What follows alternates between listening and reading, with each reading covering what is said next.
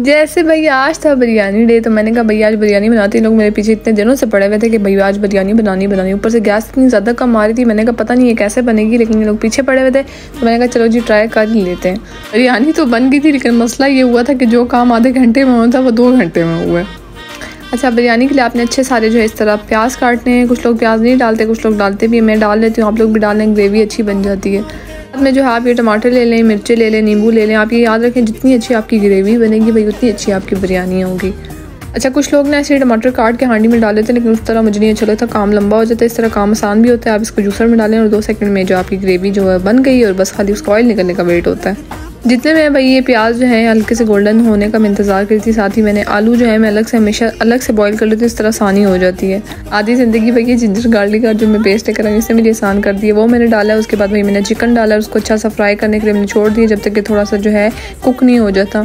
साथ ही भाई side by side हम लोगों ने रायते की तैयारी भी स्टार्ट कर ली। रायता भी आपका जितना मज़े का होगा, बिरयानी का उतना ही मज़ा आएगा। आलू जो मैंने स्टेन कर लिया मैं इसको बालते हुए इसमें हल्का सा सोडा और फ़ूड कलर डाल देती हूँ, फिर ये जो है जल्दी नरम हो जाते हैं। भाई, आपने अगर शान का नेशनल मसाला और इस तरह के मसाले यूज़ करें तो आपको आसानी हो जाती है कि बस मैंने खाली इसकी प्योरी डाली है, टमाटरों की, और साथ में मैंने शान का मसाला ऐड कर दिया।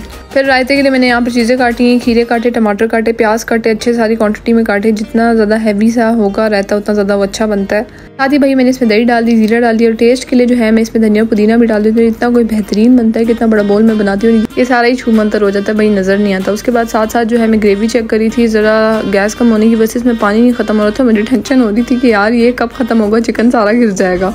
शुक्र है भाई ऑयल निकला तो मैंने साथ ही इसमें आलू जो है वो ऐड कर लिया, अच्छे तरीके से इसको मिक्स किया है। ऐसी कोई बेहतरीन ग्रेवी लग रही थी कि भाई देख के मुँह में पानी आता साथ ही साथ मैंने जो है चावल को वॉश करना स्टार्ट कर लिया। चावलों को बहुत अच्छे तरीके से वॉश करके मैंने पानी में ज़ीरा और नींबू ऐड कर दिया और उसमें मैंने चावल डाल दिए। गैस कम होने की वजह से मैंने पानी बहुत ज़्यादा कम ऐड किया था क्योंकि मैंने कहा भाई इससे भी पानी नहीं ख़त्म होगा और मैं इतनी ज़्यादा अक चुकी हुई थी कि मैंने कहा मैं बस अब जल्दी जल्दी लेयरिंग कर लूँ। लेयरिंग करके अच्छी सी मैंने ऊपर फ़ूड कलर डाला, पुदीना डाला और इसको जो है भाई अच्छे तरीके से दम पे लगा दिया। ये भाई जी, अलहमदिल्ला से गैस कम थी, लेकिन चावल जैसे तैसे करके बन गए और अच्छे बन गए, अल्लाह का शुक्र है। आप लोग भी ज़रूर ट्राई करना और मुझे बताना भाई कि कैसी बनी इस तरह गुजर गया। Don't forget to subscribe my YouTube channel follow me Instagram please okay bye